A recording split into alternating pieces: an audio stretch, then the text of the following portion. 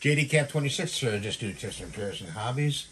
And I do apologize for the angle of the computer, but it is hard to turn to face you. What I want to show you now is uh, how to find something on your computer.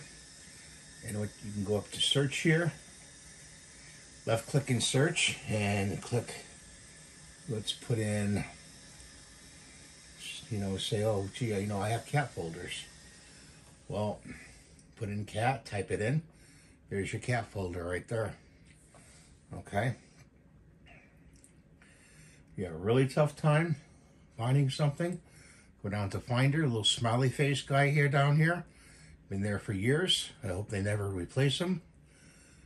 And click on click on him and see right here it says Peter's Mac. Well, it's going to search the entire Mac and you want to go